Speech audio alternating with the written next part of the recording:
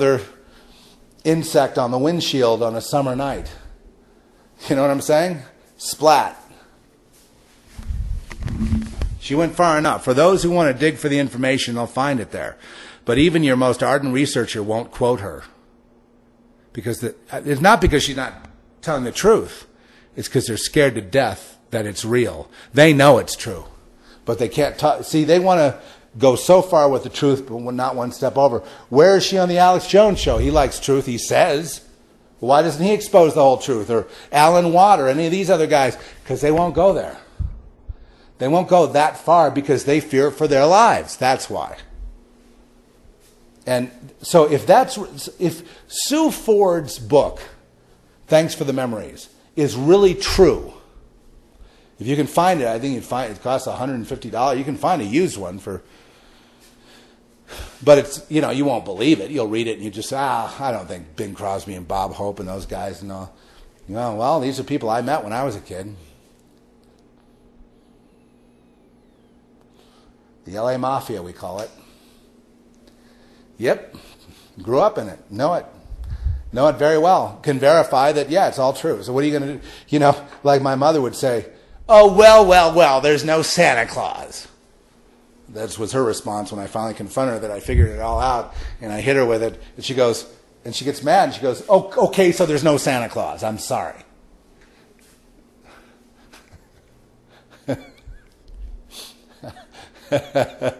so that's the response. That's the response. No, this was years and years and years and years ago, and she's she's come to you know. She just tells me at this point, you know, all those people, all those friends, they've all gone to the devil. There's no hope for them. And it's like, yeah, they've all gone that way. They're not redeemed. So you know, part of my reason for doing all this was I also minister to my mother, and we pray, and I pray for her, you know, to just accept the Lord and be free of uh, whatever else because you know you're dealing with um, a situation that is is horrific it, and you know and it deals with the elite and the moneyed and the uh, you know the, the politicians and the entertainers and the CEOs and the and the corporate jet owners as Obama refers to them. He's the biggest corporate jet owner there is, by the way. But anyway, it refers to all these people like not not getting into you know, what it would take to be someone like that and have the protection to be able to operate at that level of billionaire, and to be above and beyond reproach. And how does one get to that point? Well, unless you're in the system, you won't get to that point. The whole idea is to just get you to the point where you give up. The whole idea is to just get you to the point where you give up and it's like, what's the use? You know, you're dealing with, you know, the grocer, the baker, the banker, the rich guy, the poor guy, the cab driver, the, the neighbor, the, the friend, the son, the daughter, the mother, the father. Everybody in on this thing except me? No, that's that's the attack to make you think that way. And in thinking that way, they sort of got you. Then the next response is, okay, save me. So instead of going to Jesus for salvation, you go to them, and then what happens? It gets worse. You have protection, but then, you know, you, you, you, your hands are getting dirtier and dirtier. More and more people are hurting and dying more and more bad stuff is happening, but you're immune from it all. And, you know, if your conscience can handle that, it would have, which it can't, it would have to be seared for you to be able to go on. And yes, you do put food on the table for your family and all that, but at the same time, you've sold that there is no family for you. You don't have any sons or daughters. You don't have any wife or house or security. It's all virtual garbage. It's a game to see if you will or you won't sell your soul down the line or whether you will abide in your Father, your Creator. I mean, that's really the whole thing that, where all the gang stalking, the horrors of this world, the wars of this world, human trafficking, all the kind of evil thing boils down to. No, you can't corroborate um, someone like uh, Brice Taylor's book No, there's no corrupt. What are you going to do? Go to the dead people and say corroborate this? I just know from having been in that society that what she's saying is basically true, including the UFO part, which she didn't write about the UFO, but I mean, we got through uh, through someone that knows or verified that end of the story. So that she didn't want to write it because she didn't want to seem crazy. So she didn't want to write that. She, what, what? Okay, here's what I heard. That she was, you know, um, had flown around on these ships, and at one point was like some sort of server, like a like a cocktail waitress in a bar on a UFO. Okay, that's basically. And then I just left it off. What are you going to do with that?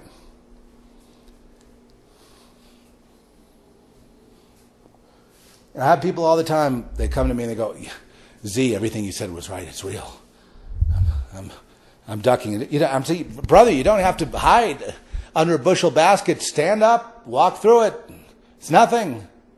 Jesus Christ is the power, the truth, the life, and the power and the glory forever and ever. Walk in that power and glory, my friend, and you don't have to hide your head. Do not be ashamed of yourself.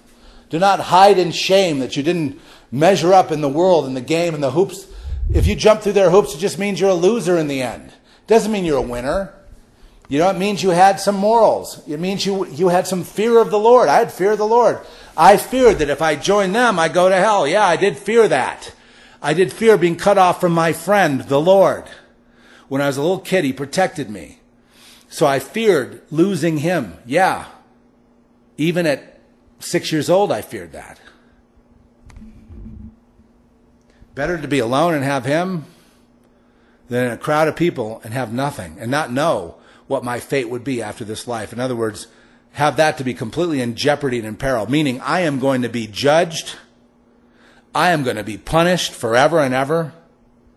I'm going to be eternally damned if I join forces with the evil world system that's based on lies, perversion, and disgusting filth. You know, the demons are filthy. But those are the spirits that rule these people. I mean, they're like sock puppets. And then after a while, you know, at my age now, um, basically the age of retirement, I I see them now, and they, they can't say more than pass the butter or gee, it's a nice day out. They there's they have no capacity for any sort of intellectual because they're afraid uh, in the presence of one of you or a TI or whatever. They're afraid because see they realize they're the perps who hurt the TIs. You see, they're the ones that caused many of them to die. TI not meaning necessarily the scientific, literal gang stalking phenomenon. See, gang stalking as it's written about online is completely inconclusive and totally inadequate and completely untrue. So the research and the so-called experts, they don't know shit. Sorry to put it that way, but I, I've seen, I've experienced and they're not describing what I've experienced. They're not, they're not going into it. They're, they're, they're hiding half the truth because they want it to fit a scientific paradigm, and it never will. It never will. Because there is no such thing that can be applied to it. Because it's not coming from this world. Yes, I agree, there are criminals Yes, there are guys behind computer monitor screens who may use satellites to surveil you and cameras and, and, you know, and organize, you know, theatrical games. But why would they do that? Well, the only reason they would have street theater at all is to frighten you that you can't win. It's all around you. It's the whole world, you know, focused on you to make you sound crazy. So therefore, and half the world's unconscious of this half the time. Then they become conscious of it, and then they're not conscious of it again. You know, what happened to you at work is not real. Then when it went back to normal, like random, then it was more real, but still not real. Both incidents are not real. The random, hi, how are you, go to your cubicle and work, versus organized stalking and mobbing at work. Neither one is real. It's impossible that, unless they could have called some meeting, like a surprise birthday party, which I think those are evil too, right?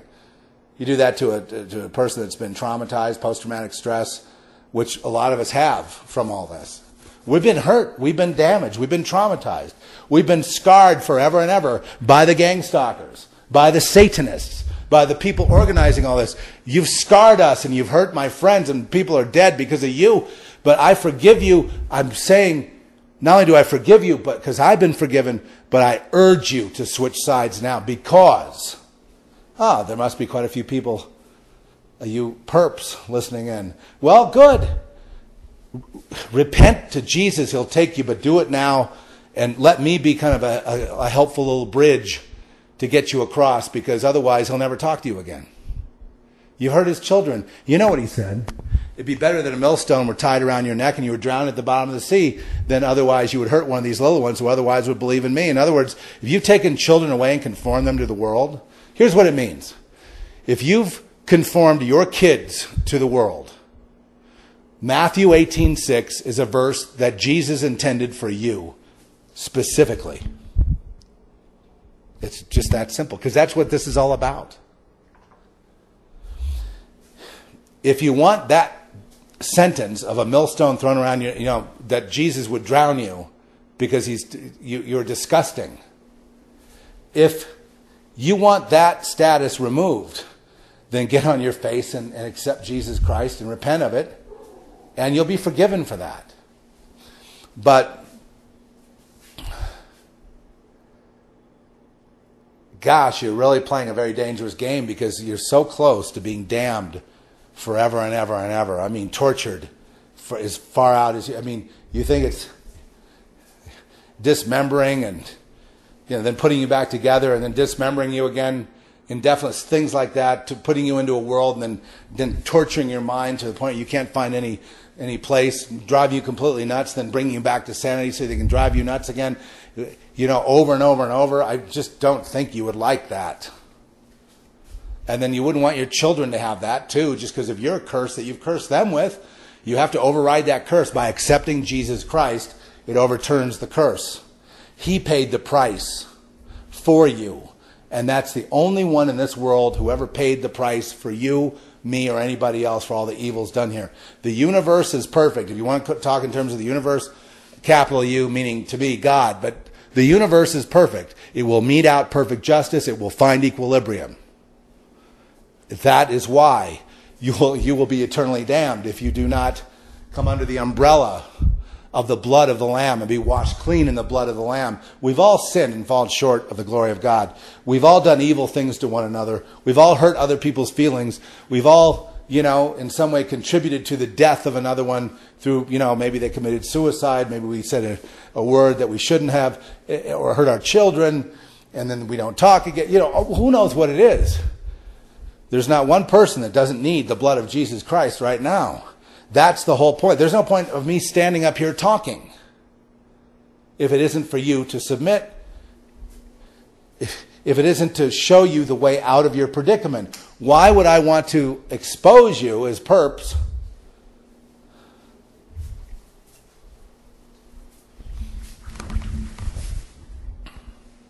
No, the elites, I don't, you know, I've said my thing about the elites. I've, like I said, I've been around the elites. I understand that to move up the ladder, you got to do bad things. I, I, you know, like my mother said so many years ago when I was a child, well, so there's no Santa Claus.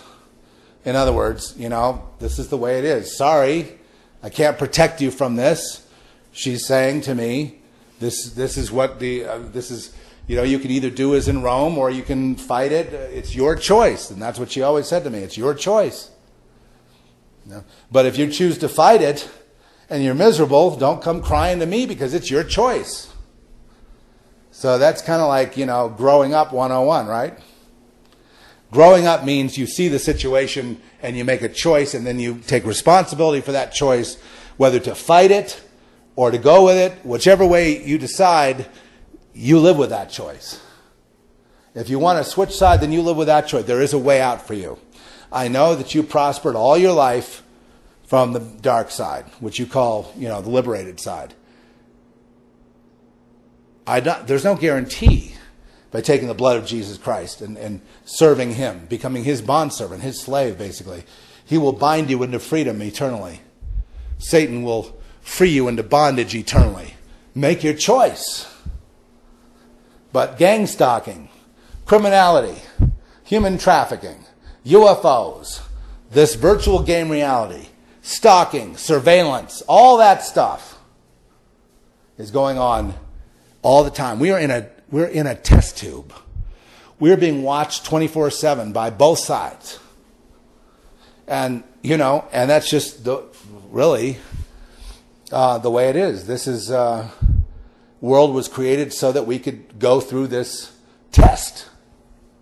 You don't want to fail the test because what it means is, it, I mean, God, I believe that He says what He means and means what He says. If Daniel the prophet is given a prophecy that that uh, you you know you're either resurrected to everlasting, um, to shine like the stars in heaven forever and ever, or to eternal damnation, I would wouldn't you know. And Jesus talks about fearing the one that can cast you in, into hell, not the one that can hurt your body.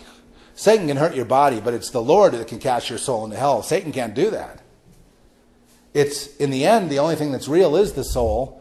It's the only real commodity here on earth that's worth a dang. And, you know, it's the thing that all the fuss is about. Okay?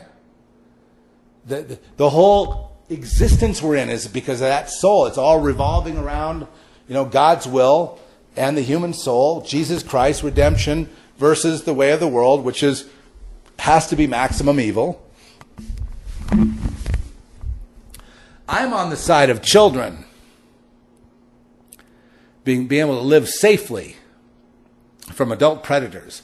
I'm on the side of churches teaching the gospel as it is, teaching about reality of the things I've said today, you know, eh, you know, teaching the whole truth so that people, the way I've laid it out today shows that you only have one choice. I've laid it out in such a way that it should make complete perfect sense to you which way to go. Not to make myself, you know, I suppose I make myself a spec at this point in my age, regard, you know, who cares about all the incidents I have? I'm an old man now, and all the incidents that have happened, all the things leading up to this, all the experiences I've had, all the places I've gone and things I've seen. Okay. No, I don't want to be a master of the game. I want God to be my master. You see what I mean? Because he, without him, nothing would exist anyway. So I'm going to go back to the source. I'm going to, and if he wants me to suffer for that choice, you know, um, then all I have to conclude is that he's burnishing me. He's, he's, he's making me better. He's making me stronger. Believe you me, without the Lord, back when I was a teenager, without Jesus being in my life as he was, you know, I wouldn't be here talking this. I wouldn't be here giving this testimony. I wouldn't be here being able to tell you what, what is going on. I wouldn't be able to. Without His guiding me through back then, and I wish I had been more obedient. I wish I hadn't tried to fight it so much on my own, but I had just understood. It took me, shoot, 50 years finally to understand what this was all about. What this life was all about what the purpose of it was all about. Most of the people you run into that are on the dark, they don't have a clue. They just go, look, Satan was paying, meet the new boss, same as the old boss. I can't, you know, better you than me. If you get hurt and I don't, fine, you know, it's not my fault. And I'm just going to do the best thing I do for my family. And I'm going to keep my mouth shut and keep my head down, keep my nose the grind, grinding stone, and somehow get through it. As Paul Simon said in Mother and Child Reunion, another song that may, will leave you a bit mystified in terms of figuring out what that means. Uh, as he said in that famous song, it just, you know, which was actually done in Jimmy Cliff's studio in Jamaica, I believe. I was, believe it was great reggae artist that uh, participated in that foul song. And uh, so, what does that say? Where's Jah in that? In Mother and Child Reunion, where's Jah? Huh? No jaw. Oh! Big surprise! Reggae's false! Jah just a state of mind like groove on it. Yeah. Right. Well, anyway.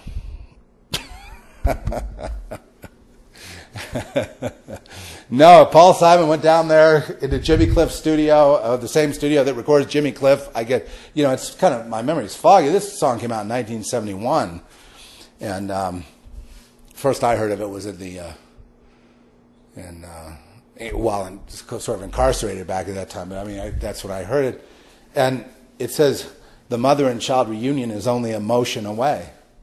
Well, what motion would that be? Is that what? It'd be very specific. The lyrics are very specific. The mother and child reunion. You mean the reunion with the world? You mean I just bust a move and I'm with the world, everything's cool? Is that like Born to be Wild or something? I mean, is it. Huh? Jah! Hey, where's Jah? Hey, Jimmy Cliff, where's Jah, baby? oh, I'm sorry we have a double reality going on. I, am doing this kind of reggae thing and Jah thing, but then I got this other thing. Yeah, okay. Cool. Otherwise, I wouldn't be, get to be Jimmy Cliff. Wouldn't get to be Paul Simon. Wouldn't get to be John Kay. Wouldn't get to be Ringo Starr. Wouldn't get to be blah, blah, blah, blah, blah, blah, blah, blah, blah. You like living like that?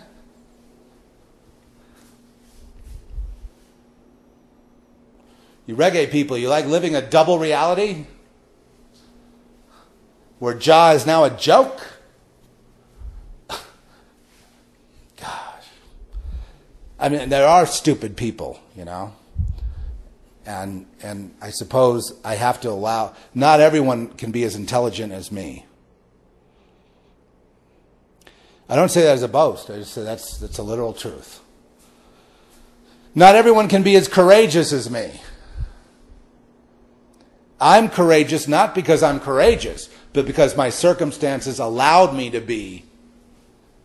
And without those circumstances, I probably would not be courageous. So I'm, I'm, i want you to know there's no boast here. The only thing I can boast about is stripes, harm, death attempts. All the bad things that have happened help to to me to understand what was going on. But I mean, those are the things I can boast about. I can't boast of anything good because there's nothing really good in me. You know, uh, any good thing I've gotten has been from the grace of God. Any good break I've gotten has been because God made a break. Anytime something went right is because God made it go right. It has never been my. One thing I have learned is that there's nothing that I've gotten for myself. Everything's been given pretty much you know, any kind of grace. You know, I probably, you know, and the trauma that I have, I will never get over having, you know, PTSD and all that kind of stuff, if that's what it is. I don't even think that's a, even a concept anymore. But I will never get over the trauma of being, having my eyes open or my soul, whatever it is that makes me empathic, you know, that I can be, I feel the, I can see what the guy's doing and I can see what the priest is doing. I can see what the, I can see everything behind the scenes. I mean, oh, the pain, the pain. Oh my God, the pain. So even when people talk to me, I, the, the moment they talk to me, I'm looking into their soul. I can see their family dinner. I can see their car they're driving. I can see the front door, what color it is. I can see the banister in the stair. I see the down at the racquetball court. I can see having the affair with the girl in the motel. Hey, I can see all that about you. Just even if you don't talk to me. And it brings me a lot of pain. I don't want to see it. But see, that mechanism that was given to me kept me safe. Because, see, it's not what you say to me, it's what you do, it's what's in you that I react to. So, hence, you have a lot of Christians staying away from me. They don't want to be seen. It's not like I'm seeing and judging. It's like it's that mechanism is there partially to help you with prophetic healing, which is, you know, this is a big acupuncture session today, and also so that I know if your motives are untoward. I'll know that while you're saying, "Hey, Z, what's happening, man?" and I'll know whether your your intentions are positive or untoward. And some people whose tensions, intentions are untoward, I will, I will keep around for a while. Yeah. Just so you know, I'll keep you around for a while. So you'll never really know what I'm thinking. You'll never really know what I'm planning. You'll never even know what this is about unless you accept Jesus Christ the Lord. Then you'll be on the same page with me, and that makes us brethren. When we're family, when we're brethren, then obviously uh, we share consciousness. So we share thoughts with one another. We share openly. You know, we're like open books to one another. We have nothing to hide from each other. That's very rare to find another human being in this life that you can be like that with. Most people hide. Most people are hiding something, something that could get them in a lot of trouble had they ever mentioned it. And they want to come clean, but they're just afraid. I'm telling you, there's no judgment in the coming to the cross and laying it down. There's judgment if you don't. Jesus Christ will set you free Right now, brother, right now, sister, accept the Lord, repent of all that stupid stuff. You know, the virtual game, you can't win, so just forget it. Jesus will have you walking over scorpions and snakes in no time, but give him a chance.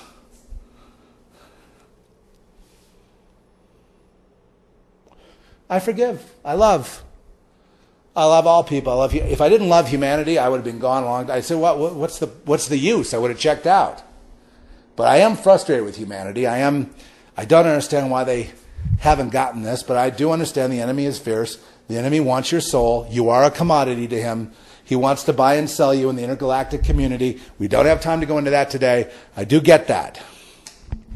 But that just means makes you human slave, human chattel, human cattle to be boxed up in like a boxcar to Auschwitz and sent off to wherever where whatever makes you you will be used to make some hybrid. I mean, or, or whatever they do. You know, it's it's um, it's it's kind of above my pay grade because this is between God and Satan, God and Lucifer, whatever you want to say.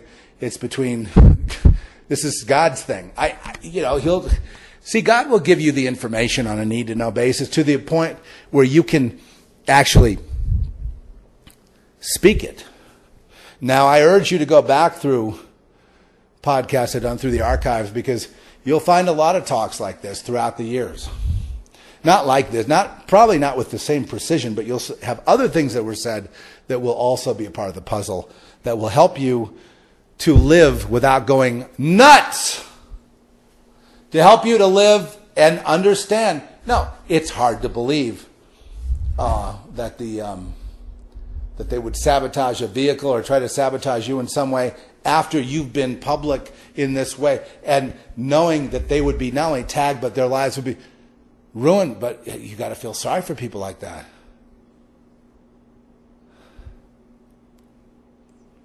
As my friend Govinda said, that's it, it's over. Yeah, they people end up really tagging themselves. And when they're tagged, that just means that their satanic ranking is gone the moment they're tagged. Bad stuff happens. They get fired. They wind up destitute. It's horrible. But I can't help it. I can't put a big sign up and say, don't touch me today because you, if you're tagged, then your life will be ruined tomorrow. So, you know, I'm the poisonous snake that you don't want to pick up. There's others out there you can probably go beat up and nothing will happen. But if you touch one of us, your life's it's over. For you, I mean, I don't want to see that Ah, never mind. You think I'm just boasting. You think it's an idle boast. You think I'm just making it up to make myself feel better? Huh. Oh, oh boy. Okay. I've said enough. God bless you, each one of you. And, um, I love you and I'm praying for you. And uh, really, I love all of you, including you perps. I wouldn't be saying all this and putting my life at risk around you people If I didn't care about you and the Paul Simons of the world and the Jimmy Cliffs and everybody, you know, I'm not mocking you. I'm just trying to make a point here that's, you know, needs to be made. Needs to be made for all of us. It doesn't matter about winning the game and jumping through their hoops and becoming, you know, uh, fame and fortune in this life is meaningless. It's the, this is not what's going on here. What's going on here is a trying test of the human soul and the free will. You know, it's like Job. Job's a very good book to read to to kind of understand. And with that, I will see you next time. Zeph Daniel, the Zeph Daniel version, zephdaniel.com, zedja.com, etc. You can come see me on Facebook or Twitter. You can get to all that from my page. Uh, please write to us, 5 Bisbee Court. That's 5 BISBW Court, 109, Box 16, Santa Fe, New Mexico. That's 5 Bisbee, BISBWE Court, 109, Box 16, Santa Fe, New Mexico, 87508. And we read everything that you send in. Don't always respond like on the air. We keep you anonymous, but if you want to get a message into me that gets really